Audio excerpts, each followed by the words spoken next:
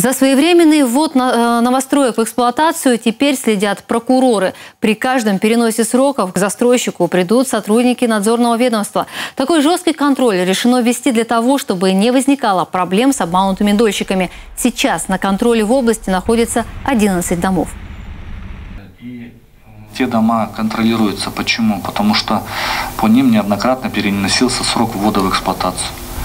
Это один из первых сигналов, индикаторов, можно сказать, а, которые а, мы для себя а, поставили и воспринимаем, что если дом начинает не своевременно сдаваться в эксплуатацию, соответственно, есть какие-то проблемы. Добавлю, что в 2017 году в регионе ввели в эксплуатацию 4 долгостроя. Почти 800 дольщиков дождались наконец-то своих квартир.